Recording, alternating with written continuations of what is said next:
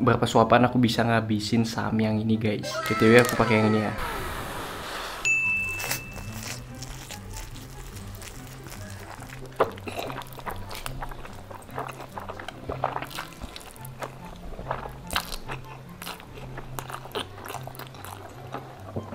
Hmm. Wah itu udah penuh banget.